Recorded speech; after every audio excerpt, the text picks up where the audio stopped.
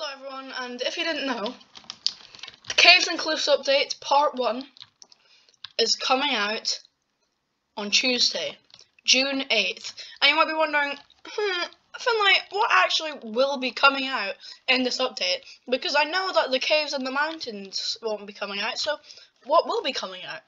Well, today I'm going to try and pack as much as I can remember in this, and I'll be telling you it's just it's, it's going to be epic, guys. Let, let's just get started. So to start us off, let us start with. I'm so dumb at speaking. Why am I so bad at speaking? Let's start at the start and start with the items. These are the new items coming out in the 1.17. Get away! Get!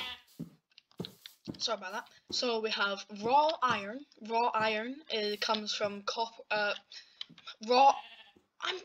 Why can I not talk? Raw iron comes from iron ore and that goes for the same as copper, raw, raw copper, and raw gold. And here you have uh, copper ingot, which you get from smelting the raw copper. Now, this is what I am most glad that was added. The spyglass. I'm so glad that they're not leaving this out for part two. I love this thing. This is my by far favorite item that's being added. Well, Warden it's pretty good, but I do absolutely love the spyglass. Now, you also have the amethyst shard, and the amethyst shard can be used to make the amethyst blocks. If you don't know, the amethyst blocks can also be found in the geodes. So, yes, this can be very useful sometimes. What did I tell you about going away? Yes, so this is so kind of useful, not very useful, useful, but this can be used to make the spyglass so yeah, it's kind of useful. And the new food item in the Caves and Cliffs update, the glow berries. The glow berries can be planted on things. Let's see. There you go, glow berries. Now, these are kind of like berry bushes, except they grow like vines. But a thing that they actually do is they actually grow um, glowberries on them, which you can then pick and eat. But I wonder if I eat them, I'll glow. Let's find out. No, nothing exciting happens. It's just, it's basically just light source for the Lush Caves, which aren't even coming out. Like, why add this if the Lush Caves aren't even coming out yet? So now that we've talked about the items, let's move on to something much more amazing. Something people will actually like and enjoy in this new update. Now, I haven't spawned these mobs in. These are just natural axolotls hanging out. Uh, they're just chilling out and then over here, there seems to be a bit, maybe a bit unfortunate uh, glow squid. So let's see these glow squids. Yeah, punch them in the face. So these glow squids are really quite useful, and they're quite useful for this reason. So you can get glow ink sacks from these things, and then you can use glow ink sacks on signs, and it will make them glow in the dark. You can also make these cool glow item frames, which makes all the items you put in it glow in the dark. Now, what are you looking at? Let's let's go uh, let's go check out if there's a yeah, and over here there's some natural spawning goats, completely natural, definitely didn't spawn these in. Now these goats are quite useful for the main reason they can headbutt things, and also they, they, they jump sometimes, they just go wee sometimes. So yeah, they just headbutt things sometimes, and uh, yeah, if you have these guys at your base, then they'll just go around and they'll go like wee! Yeah, that, that's basically all they do. But yeah, they're quite cute, I guess. Yeah, I think you can also milk them. Let's see. Let's get a bucket out. Yeah, you can milk these guys, which is a bit weird, but um, yeah, I guess it's just like real life. Moving swiftly along to the blocks, I haven't mentioned all the blocks, just the mainly important ones. So here we have deep slate. Deep slate can just be found basically anywhere underground. It's usually deeper, of course it's called deep slate, so it kind of makes sense. Zombie, shut up!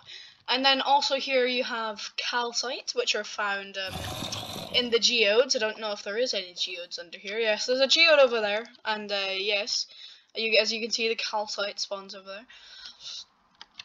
Um, here you have tuff. Tuff can also be found basically anywhere under the ground.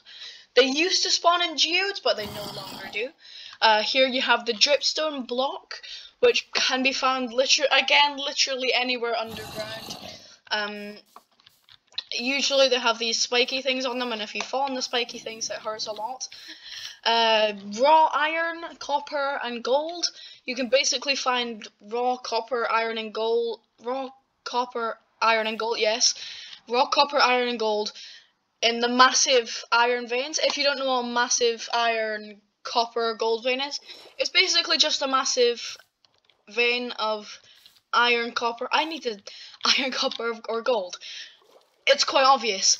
Uh, these veins can have like up to like 200 of not these, but like you know the uh, copper blocks and that kind of stuff in them. They're they're pretty OP. They're pretty big.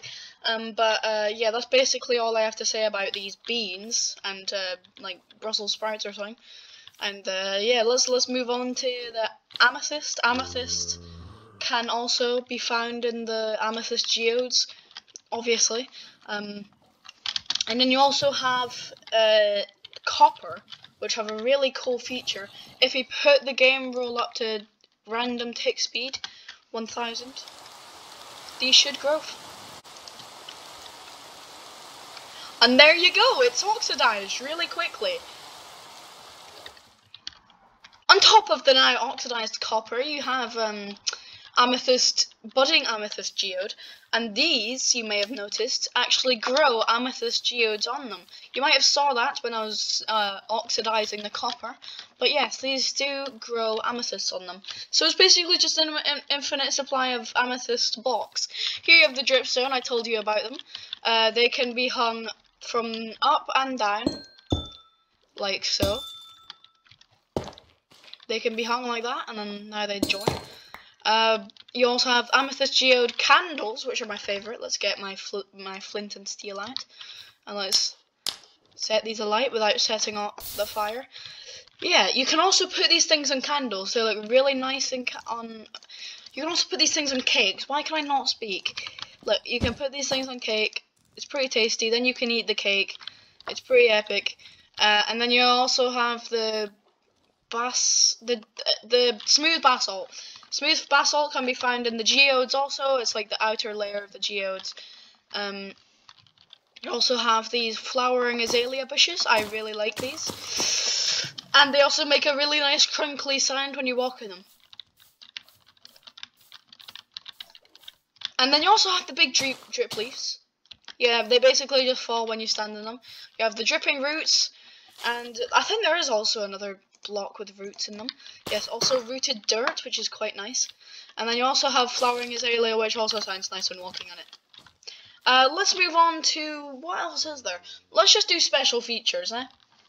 Now, I don't really know very much uh, special features about uh, 1.17, but I can name some things about structures. Uh, you know, the, the these things now spawn Oh yeah, also, one of the blocks I forgot that I just saw. Glow lichen, right here. These literally spawn anywhere in caves.